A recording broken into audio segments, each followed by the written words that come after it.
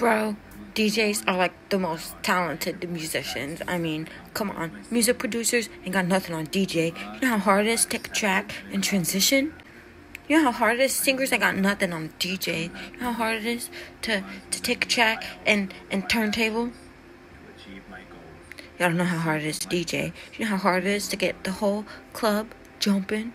I share my joy with others. It's harder to be a DJ than it is to play guitar. Jimi Hendrix don't know nothing about being a musician.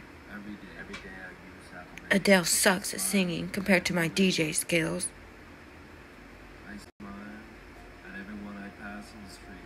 God should have had me DJ at his birthday party. Why didn't you hire me for the Christmas party, Jesus? I could have been DJing all the Christmas songs. wherever I go. I So what if